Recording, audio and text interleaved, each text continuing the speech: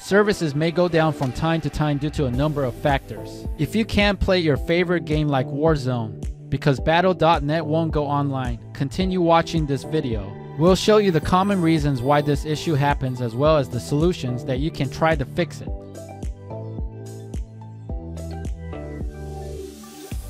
If Battle.net app was previously working on your computer, but it's no longer loading up now, you should make sure that you visit the Activision Twitter page to get answers. This is the most reliable way to know if there's an ongoing gaming server problem.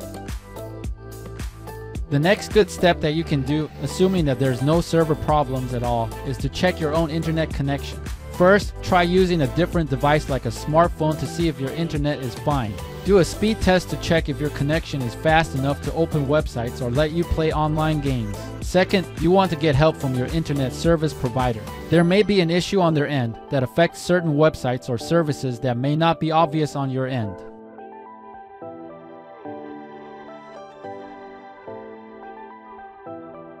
Using a different region can help. While the Battle.net launcher is trying to log in, click on the region indicator to change it.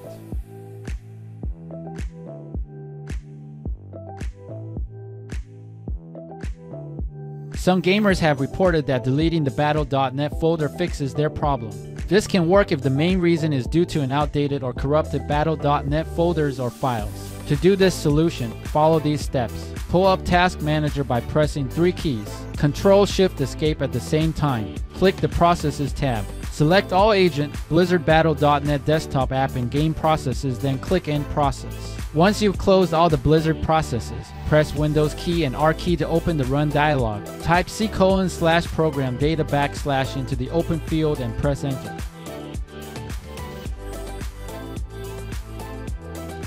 Delete the Battle.net folder, run Battle.net, and update the game to see if the issue persists. If Battle.net app still won't go online after doing the steps, restart your PC and delete the Battle.net folder again. This should prevent another program from interfering with the new Battle.net folder that you installed later on.